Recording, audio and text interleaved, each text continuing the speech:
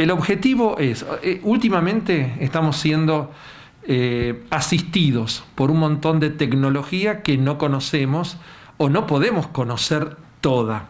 Entonces el objetivo de este microprograma, porque van a ser entre 5 y 7 minutos, es precisamente acercarle a todo el mundo, no importa la edad.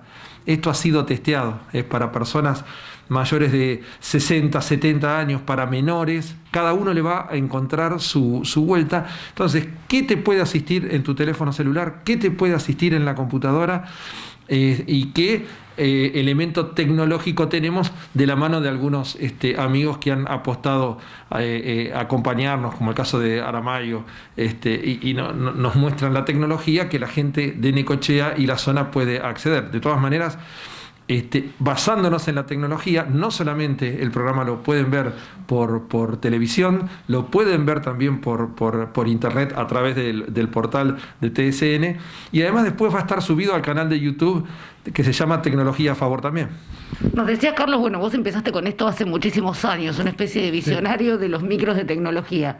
Estamos ahora en una época donde la tecnología nos tiene un poco de rehenes a todos, ¿no? Sí, bueno, siempre fue así. De todas maneras, lo de muchos años me deprime, pero voy a tratar de superarlo.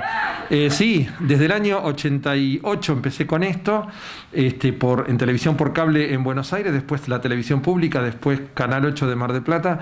Eh, sí, siempre la, tecnología parece que vino a desplazar a alguien y no es así, no es así. Este, lo que pasa es que existe el concepto de eh, nativo digital, que pueden ser nuestros hijos, y está el concepto de inmigrante digital que podemos ser nosotros. En mi caso es peor porque yo sería un obstetra digital porque nací con, eh, o sea, eh, eh, yo tuve que aprender sin la posibilidad de estudiar todas estas cosas en la universidad.